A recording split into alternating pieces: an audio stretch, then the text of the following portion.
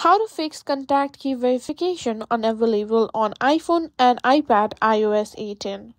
If you're getting the contact key verification unavailable error on your iPhone or iPad with iOS 18, don't worry, you're not alone and today I'm going to show you how to fix it. So let's dive right in. First, check if your device is running the latest version of iOS 18. Go to Settings, scroll down, tap on General and go to Software Update. If there's an update available, tap on Download and Install to make sure you're on the most recent version of iOS. Next, let's check your internet connection. Check if you're connected to a stable Wi-Fi network or cellular data. If you're on Wi-Fi, try, try turning it off and on again or switch to cellular data and check if the issue persists.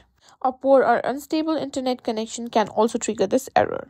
Now let's sign out of our iCloud and sign back in. Just go to settings, tap on your Apple ID and scroll down and tap on sign out. Enter your Apple ID password to confirm and choose whether to keep a copy of your data. After signing out, restart your device and simply sign in to your account again.